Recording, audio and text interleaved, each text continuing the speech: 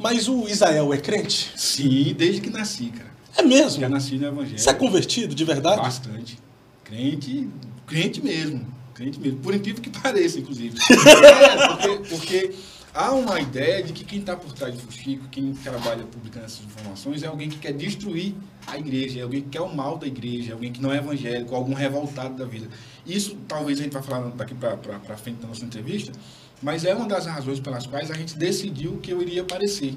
Para mostrar que quem está por trás do Fuxico não é um grupo de pessoas que querem destruir a igreja, que tem pessoas sérias por trás. Estou vindo aqui em Curitiba, eu sou de Alagoas, estou aqui presencialmente para falar com vocês sobre isso, porque eu quero que as pessoas, as pessoas entendam, Fábio, que o Fuxico não se trata de, de, de alguém que quer apenas o mal da igreja. Pelo contrário, a gente quer que a igreja seja reformada, seja transformada e que algumas pessoas, alguns indivíduos que acabam fazendo mal para ela, eles não é que saiam, mas que eles se transformem também, que eles mudem e reconheçam os seus erros.